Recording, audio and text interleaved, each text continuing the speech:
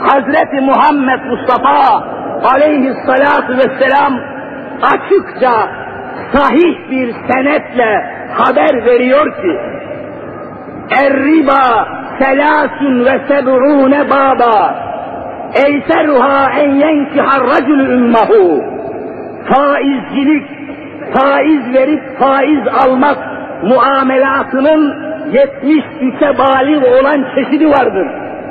73 çeşit faizcilik var. Öyle çok ki, öyle çeşitli ki, öyle dallı budaklı ki 73 çeşit faizcilik var. Habibullah buyuruyor ki, Eyseruha en yenkihar racülü ümmehu, en hafifinin, faizciliğin en hafifi, en kolayı, en basitinin Allah katındaki vebali günahı bir Müslümanın cadde ortasında anasıyla zina etmesi gibidir. Bu kadar haram, bu kadar günah, bu kadar vebaldir. Sen Yahudi gibi olabilir misin şimdi? Sen Hristiyan gibi olabilir misin şimdi?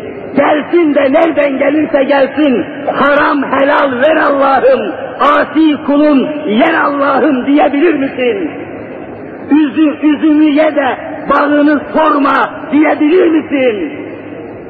Kâr eden ağır etmez diyebilir misin? Bütün bu sözleri seni haramlara, isyanlara ve Allah'ı unutmaya teşvik için söylemişler.